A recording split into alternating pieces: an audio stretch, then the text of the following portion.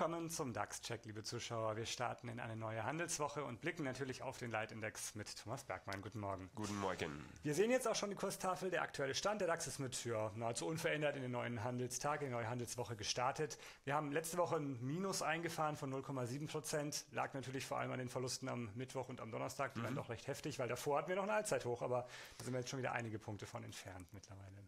Ja, ähm, 250 ungefähr. Ja, wir hängen etwas am, am Euro, wobei der jetzt mit 1,24 sich nicht groß bewegt hat. Äh, Amis hatten am Freitag nochmal zugelegt, deutlich zugelegt, neue Rekorde. Aber hierzulande fehlt irgendwie das Vertrauen. Ich weiß nicht in was, aber wir tun uns sehr schwer, eben ja, die Rallye in Amerika mitzugehen.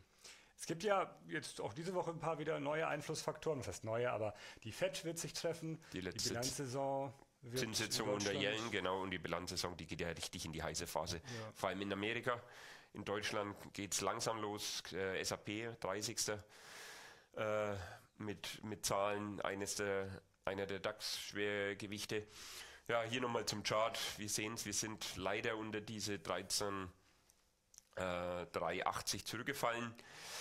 Jetzt haben wir eben diese Range wieder, die uns beschäftigen könnte, wenn wir nicht schnell wieder da rausgehen zwischen 13,2 und eben da oben.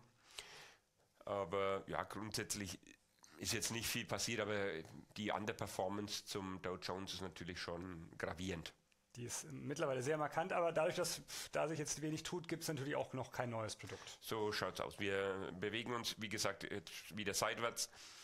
Ähm, bietet sich natürlich an, wenn wir wieder neue Hochs machen, da auf der Long-Seite einzusteigen, vielleicht schon ein bisschen früher das Ganze antizipieren.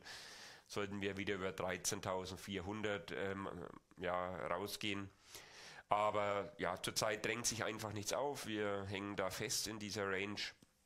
Ist eine schwierige Situation, eben weil der Euro mit Sicherheit die äh, Q4-Bilanzen etwas belasten wird und vielleicht auch den Ausblick. Also ja, man muss einfach wachsam sein. Also, Lang, also Aktienpositionen, die man längerfristig halten will, da gibt es nichts dran zu rütteln. Das bleibt auf jeden Fall im Depot. Aber fürs Trading ist es natürlich sehr schwer. Ja. Okay, dann warst du das mal für heute. Morgen blicken wir wieder auf den DAX. Dankeschön, Thomas. Sehr gerne. Danke auch Ihnen. Wie gesagt, morgen 9.30 Uhr sind wir wieder für Sie da. Bis dahin.